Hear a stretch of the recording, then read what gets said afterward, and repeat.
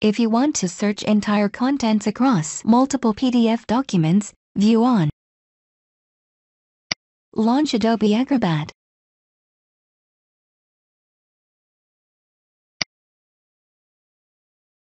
Open Tools pane. Expand Document Processing.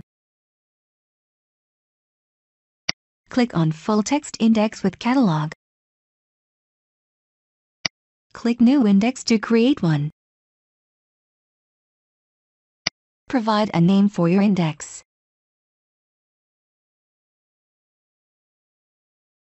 Providing the otherwise optional index description is a good practice.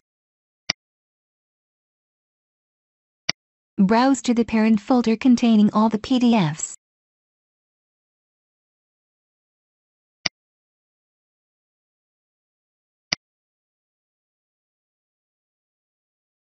Save the index. By default the index is saved in the parent folder with the PDF files. Acrobat take a few moments to index the entire content of the files and lets you know when it is done.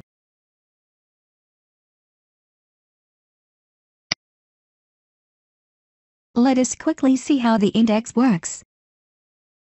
An index is a PDX file already associated with Acrobat. Open the index. Acrobat now searches in the index.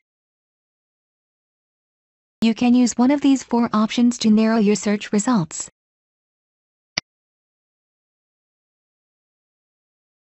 Or you can access the advanced options. I shall construct a Boolean query to demonstrate. Select the option, Boolean query from the drop-down. Also notice the other options available for advanced search.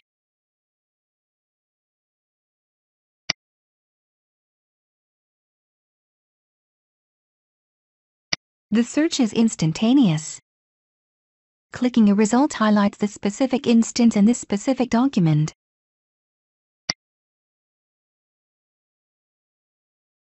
You can also export these search results to use these further in the your workflow.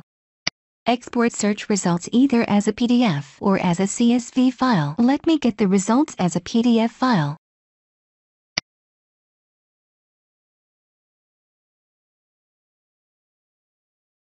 This is how an exported PDF looks like.